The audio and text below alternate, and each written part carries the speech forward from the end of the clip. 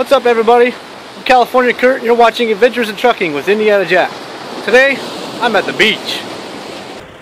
We're picking up fracking sand here. Not like fracking sand, but like fracking sand out of the Gulf here in Houston.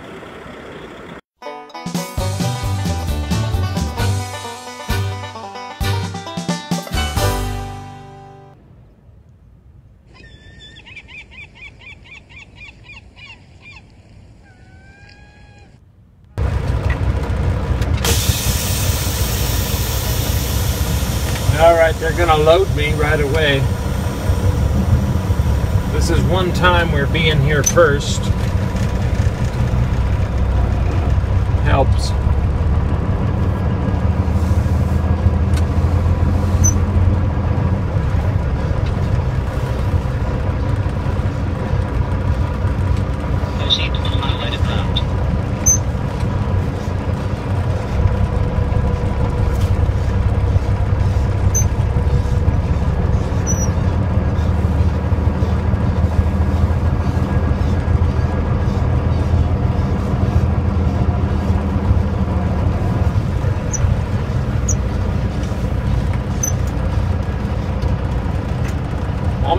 Where they get this sand from. Maybe they get it out of the Gulf.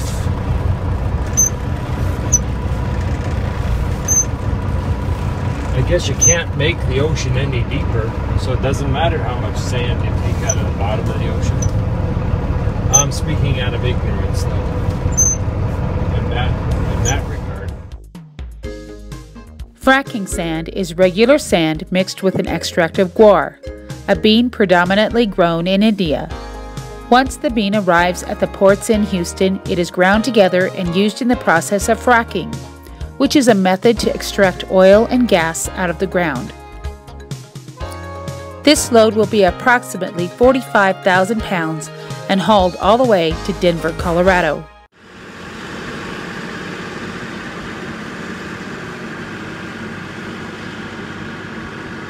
After a sleepless night at a truck stop, the driver tries to get in a nap before his 10 hour drive. Noises outside make it difficult to sleep. The forklift going in and out of the trailer makes it shake.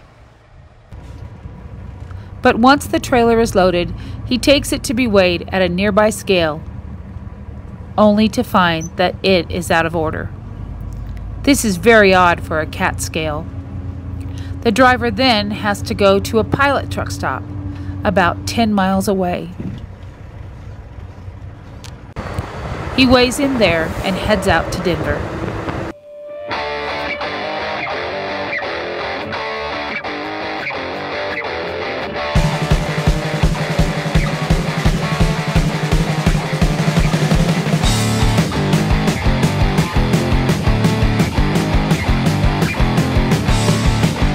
The driver grabs a quick sandwich at the pilot in Huntsville, Texas.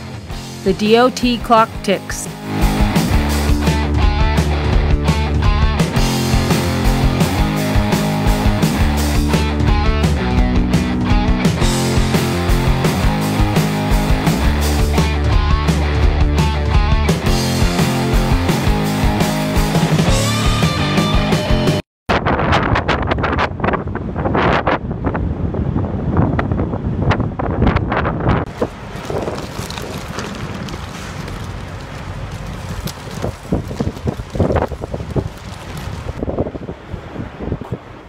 Progresses smoothly, and he makes it to the Petro in Amarillo, Texas. But the weather reports have many drivers concerned because of high winds ahead on 287. This is one time a heavy load is welcomed. The brown dust in the background still brings cause for concern. Many trucks with light loads choose to stay behind.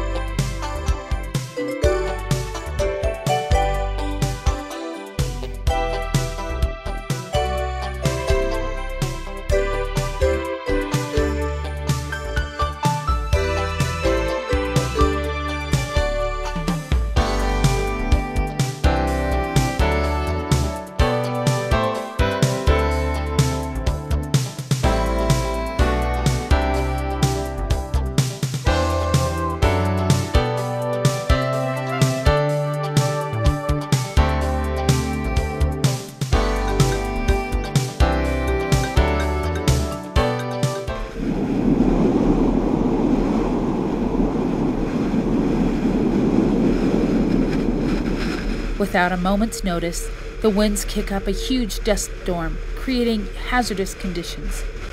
The small tumbleweeds dance across the road like rats fleeing a sinking ship. It finally gets so bad, the driver seeks a safe haven to wait out the storm. This might be a good time for that 30 minute break.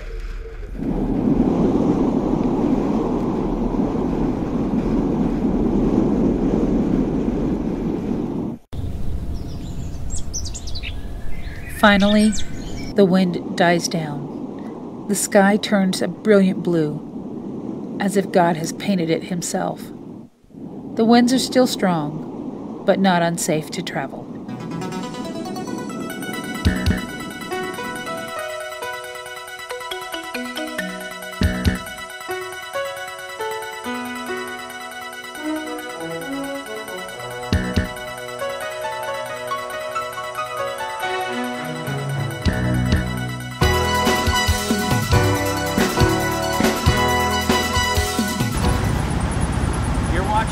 Adventures in Trucking with Indiana Jack.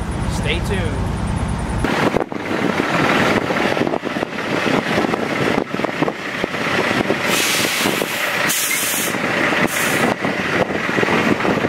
The driver makes it to Limon, Colorado just before the sun sets. There are brief periods of rain and even snow, causing the ground to be wet. Many drivers hurry to find a place to park before they're all taken. Just as the driver backs into his parking spot, an airline breaks, causing the air pressure alarm to go off. Some tumbleweeds have hitched a ride. No worries.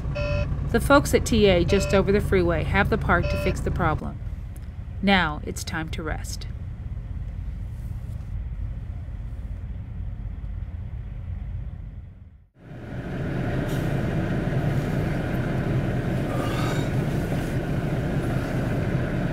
The morning comes quickly, and the driver wakes to the morning sun. A breeze brings an odd odor from the outside.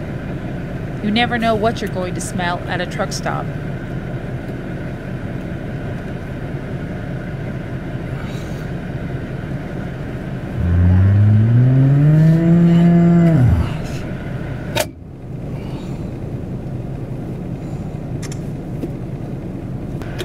Apparently, the bull hauler trucks decided to get close in the middle of the night.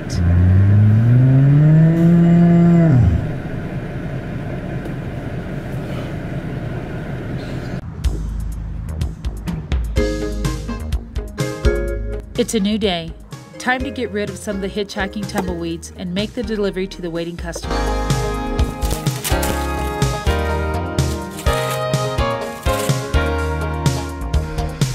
Surprisingly, traffic in Denver is light, making it easy to hit the delivery time.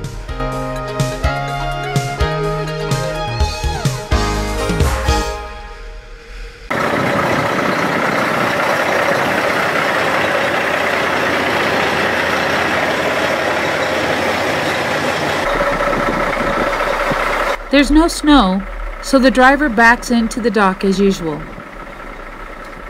The high altitude gives the engine a funny sound, almost like a ping.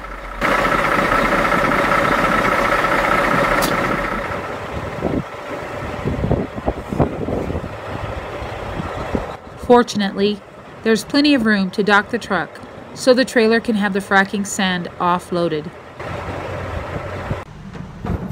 Even with a warehouse full of sand, I guess they need more since by the time we're finished, there are three more trucks lined up outside.